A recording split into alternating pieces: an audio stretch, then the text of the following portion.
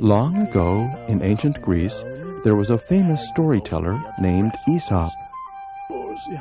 He was best known for his animal fables. Fables are stories that can teach us important lessons about life. As the years passed, Aesop's fables were handed down from grandparents and parents to their children and grandchildren.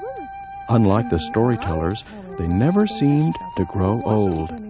Perhaps one reason is that all good stories are fun to listen to, regardless of their age. Also, times may change, but people and what happens to them when they behave in certain ways remain very much the same. For example, we learn from some of the stories that those who are lazy often suffer when they put off important chores. And that's what our first Aesop's fable is all about. It's called The Grasshopper and the Ants. Once there was a grasshopper who loved to sing. He sang during the day, and he sang during the night. When he wasn't singing, he could be found hopping around, playing tag with all the other grasshoppers. Of course, he had to take some time off from his play so he could eat, something easy to do on warm summer days when there were plenty of juicy, tender leaves to munch. One day, when the grasshopper was eating a particularly fine milkweed leaf, he noticed a line of tiny ants marching along in the grass. He was curious about them. He wanted to know why they seemed so very busy. Pardon me, but may I ask what you are doing?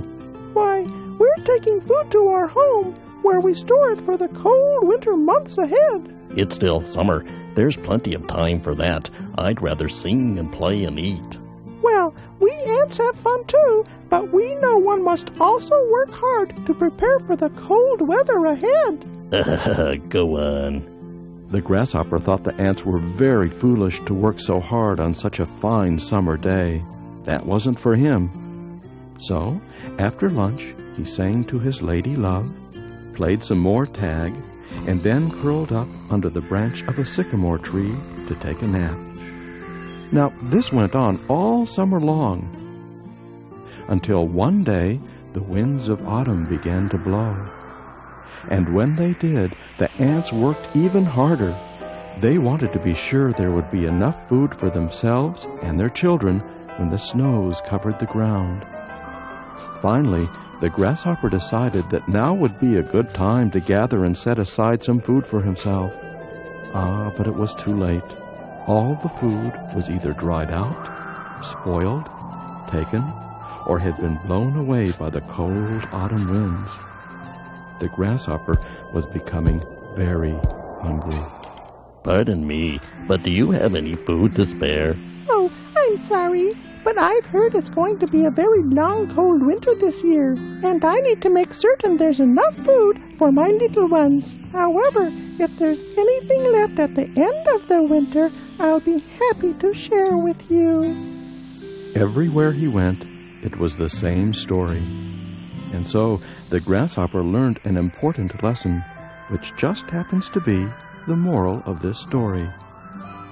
When you need your daily bread, it's always best to plan ahead. The Tortoise and the Hare There was once a hare who loved to brag about how fast he could run. I am the fastest runner in the forest. There is no one who even comes close. His friend the tortoise had heard this boast many times before, and by now was growing tired of it. You're not as fast as me. Ha ha! You're a tortoise! You're as slow as molasses!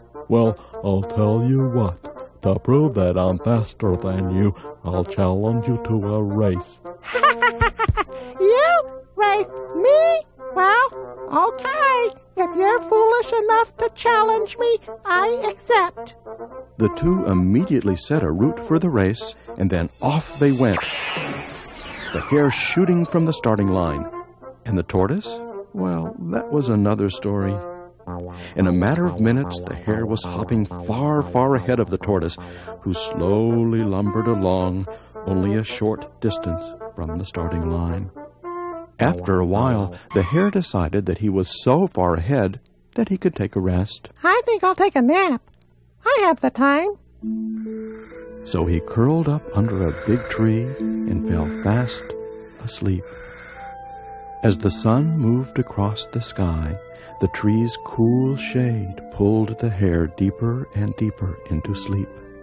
Hours passed, and he didn't wake up. In time, the tortoise quietly walked by the hare.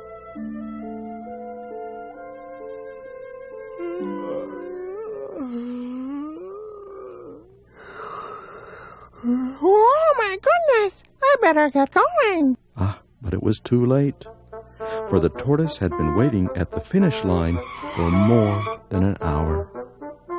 The hare, who still thought he was the fastest runner in the forest, learned an important lesson. If you want to win the race, use a determined, steady pace. Not all of Aesop's fables are about animals. Sometimes people are in them. One example is the boy who cried wolf. Once there was a shepherd who did the same thing day after day, and he hmm. didn't like it. It's boring to watch sheep eat grass all day. But then, one day, he hit upon what seemed to be a wonderful plan.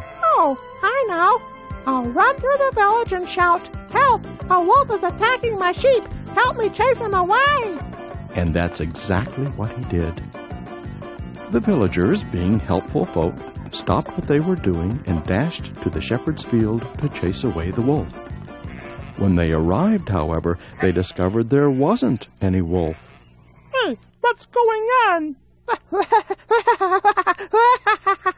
Fooled you! Well, the shepherd thought it was a wonderful joke, but the villagers were not at all amused. A week passed, and things got back to normal. Once again, the shepherd was bored. You know, I had a lot of fun last week. I think I'll do that joke again. So he did. And once again, the villagers, being helpful folk, ran to his field, only to find that they had been once more the victims of a prank. Ooh, Gotcha. Oh, yeah, very funny. The shepherd didn't seem to understand that the villagers were getting upset at his antics.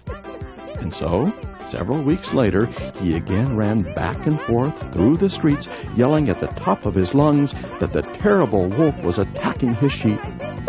Attacking my sheep! It's attacking my sheep! This time, however, the villagers came only very reluctantly. And when they saw that they had been fooled once again, they were very, very angry. The shepherd finally understood that the townsfolk didn't like being lied to. Then, one day, a wolf really did attack the shepherd's flock. The shepherd dashed to the village for help, but when he told everyone about the wolf, no one believed him. No, really, I'm telling the truth this time. Oh, right. Fool me once, shame on you. Fool me more than once, shame on me.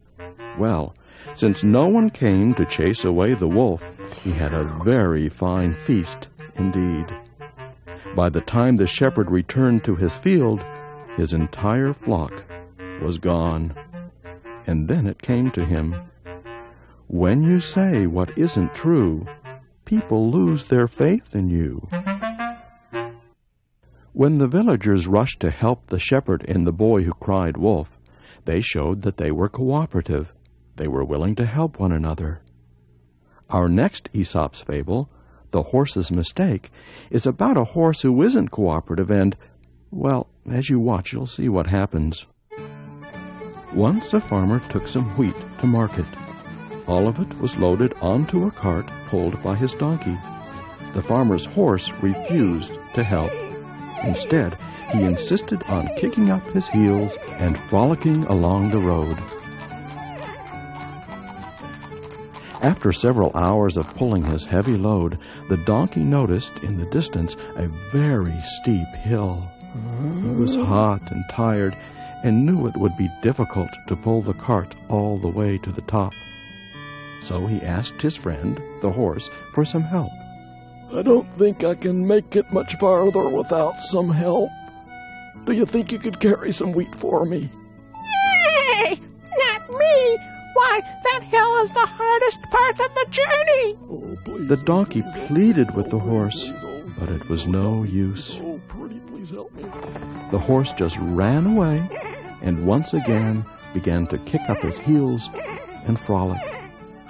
Well, the hill was even more difficult to climb than the donkey had imagined. About halfway up, he stopped, his legs buckled, and he fell down in a heap. When he explained that he couldn't get up, the farmer called the horse and loaded all the wheat onto his back, and the donkey as well. And up walked the horse, struggling with a much heavier load than he would have had if he had just helped the donkey in the first place. The moral of this tale? For yours and everyone else's sake, cooperate. The fables in this program are only four of the hundreds of Aesop's fables you can find in books. If you've enjoyed these stories, why not visit your library or your learning or media center where you can find many more of them.